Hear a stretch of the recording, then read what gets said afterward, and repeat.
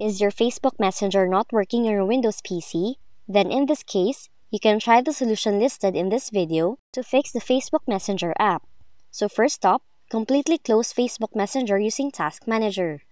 And in order for you to do that, right-click Taskbar, choose Open Task Manager, find all Messenger-related services, right-click on them, and then choose End Task from the context menu.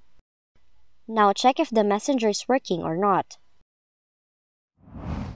Additionally, download the latest Windows update by opening Settings, click Windows Update on the left-hand corner, and choose Check for Updates.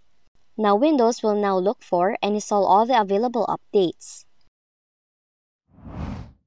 Last on the list, use the Windows Store Apps Troubleshooter.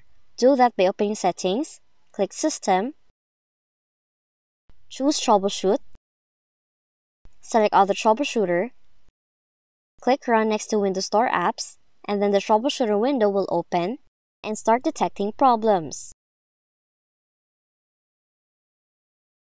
So that's what you should do if your Facebook Messenger is not working on your Windows computer. If you found this video helpful, kindly like and subscribe. You may also click and turn on the notification bell so you can be notified from whenever we release new videos.